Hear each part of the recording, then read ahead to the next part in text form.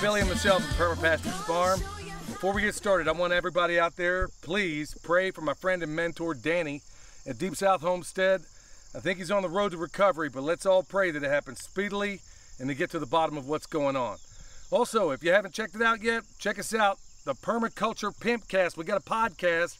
It's a pimpcast, and it's uh, on any platform you want to check it out. But I ask you to download the Fountain app and listen to it there. It's groundbreaking what's going on there. Fountain.fm. They got an app, and it's off the meat wagon. So listen to us on that, and check us out over there. Subscribe. I think you're going to be glad you did. All right, star of the show today is comfrey. This magical plant right here, we use it for just about everything. We've been evangelizing the virtues of this plant forever and a day, but today we're gonna do something very, very special.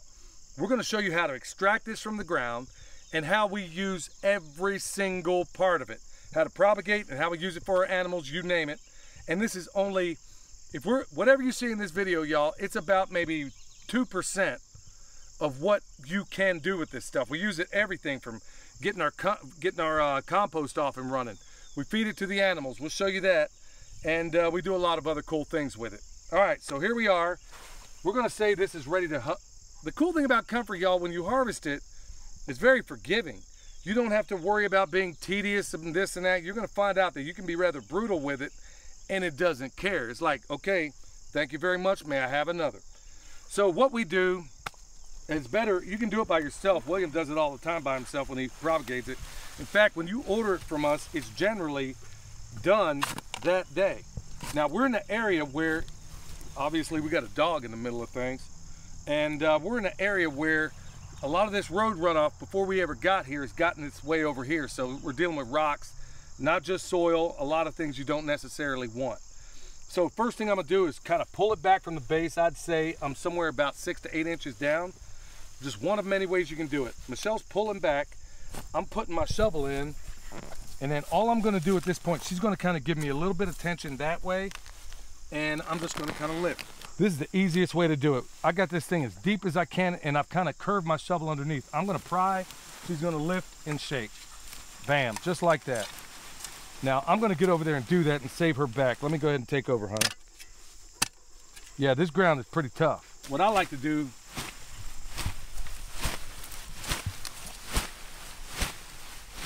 I'm doing a ground and pound on this stuff. This is not the, believe me, this is not a, a comfrey that's really all that robust. We're just gonna pick the first one we come across. And so we got a bunch of little cuttings that have come alive in there. I'm gonna shake it off as best I can, try to keep that in the hole.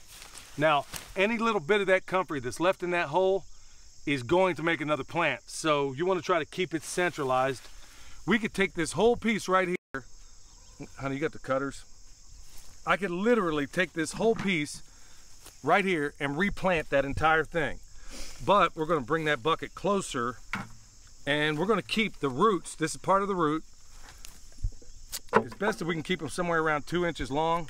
Now I got an entire crown. I could even cut that in half and make it propagate.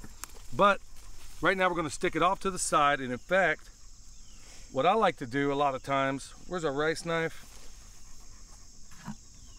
What I like to do is basically take all the tops off right from the get-go. But just for demonstration purposes, I wanna, I wanna have you see this. So we got our crown here. I'm gonna grab a hold of it, take my rice knife, which, bam, those work. I'm gonna take this whole thing and I'm gonna replant it. We'll show you that in a minute. All these leaves that I've taken off of here, we're gonna show you what we do with them. So with that said, it's time to go ahead and bust this apart. I can literally take that whole root, and that's what we give you when you buy it from us. Now you're probably asking, well, why are you sitting here telling everybody about this? Now we can just produce our own. That's exactly the point, y'all. I want to put us out of business. I want everybody growing so much of this that we're irrelevant. I want to be doing so much of this stuff and encouraging so many people that we become irrelevant. We would ordinarily scalp this thing right here before we got it up out of the ground but it makes it easier to film and to convey if we do it this way. So it's a whole lot easier if right from the get-go, William has his way of doing it, I have mine. We'll just take our handy dandy rice knife, which we use all the time. And so I got an entire crown set right here and I got a whole gang of leaves right here. Now, let me put these off to the side. Because now that we got this giant crown, I usually take my shovel and run it down through here and split it up. That's one way of doing it. You may have another way. So I can literally take my shovel just like that. That's how robust this stuff is. It takes almost no effort at all. And so now Michelle will take this one and I will take this one. We're gonna take off all the roots. Which bucket are we using for roots? That one. We're gonna take off all these roots and we're gonna put them in that bucket. Now when you do this, invariably, you're gonna have little root segments like that that find their way out. Here's another one. I'm not too worried about it because this is an emerging orchard over here. We haven't even dealt with this yet, but it picks up where the other orchard left off basically down there. We'll get to that in the fall. So here, I got this one crown left over. This is all that one plant. Everything is in those buckets. We'll cover that in a minute. All I'm gonna do is literally take it, put it back in the ground like so. Oops, more roots that I found. Here's another giant root that I found. And you wanna make sure you do a once over out here if you don't want this stuff to spread. Now, it'll stay put unless you do what we just did. Once you put it in the ground, it's set, okay? But when you bust it up like this, it's not uncommon like this one here is the offshoot from the last time we harvested this stuff. So here we are, we'll leave it just like that. And then bam, hit it with a little water if you want. You can even take some of these leaves and make something of a mulch ring. You can make something of a mulch ring. I do that sometimes, just like this around there. Because like we said, we don't ever want just bare soil sitting there. I can even take some leaves from the neighboring plant and just bust it up around there just to keep your soil a little bit moist. All right, so once we have our roots cut and uh, in the bucket and everything, I'll usually use my fingers to measure the length. So if it's a skinnier piece like this, I'll use three piece, three fingers and cut it to length. And then once it starts getting thicker, I'll switch down to two fingers and cutting it to length. And then if it's long like that, we'll just leave it. Um, if it's a skinnier, if it's a piece like this, where these skinny, skinny roots are sticking out, you can just leave them like that long instead of like worrying about the finger length and any, or anything like that. I'm just clearing off some of these hair roots so they don't get tangled up in the bag when we're trying to packaging, trying to package them. And then right here, there's three different cuttings right here. You just cut this one off, this one off, and then you have that full length right there. All right, so we've got 78 uh, root cuttings and we've got seven crowns just out of one plant. So you can plant these crowns like on different parts of your property and just keep the process, just keep propagating comfrey. Well, the cool thing about that is the crowns are going to come up much, much faster than the roots. Um, when you take these roots, we plant them about an inch, two down. It's really simple. Lay them horizontal like that. And then you got to give them a little bit of time, but do not do not. What don't we want to plant so these guys in? So don't plant them. Comfrey grows best in soil that's not rich. So number one, don't plant it in Miracle-Gro potting soil.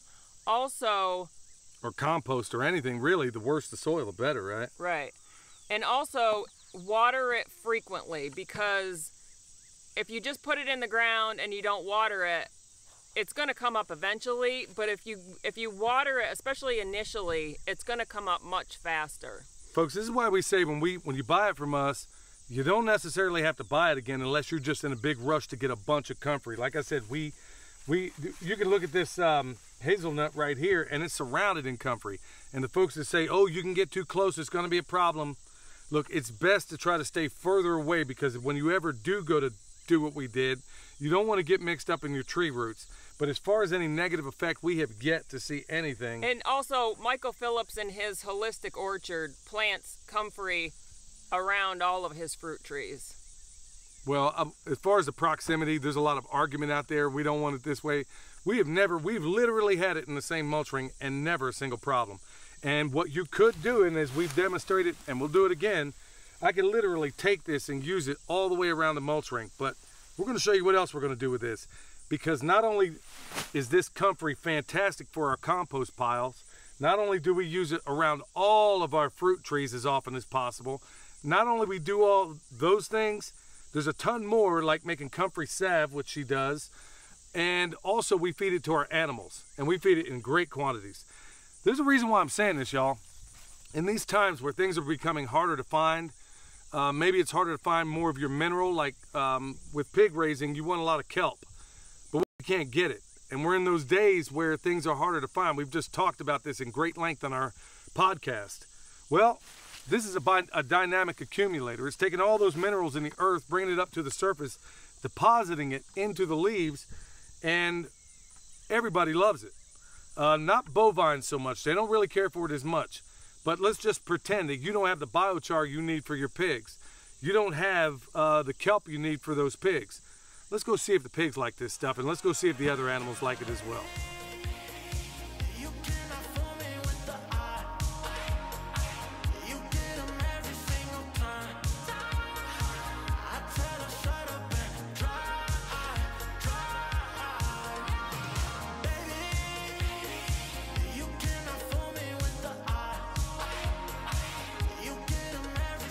All right, all in a day's work, y'all. So you might be asking, and I know a number of people have already asked, why are you going to sit here and show everybody how to do what you already do? Well, the honest truth of it is, I mean, altruism isn't completely gone from this world.